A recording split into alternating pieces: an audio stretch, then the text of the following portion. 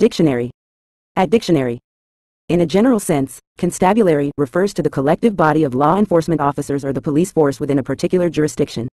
It encompasses the organized and official personnel responsible for maintaining public order, enforcing laws, and ensuring the safety and security of a community. The term is often used to describe the entire police establishment or system, emphasizing the institutional aspect of policing.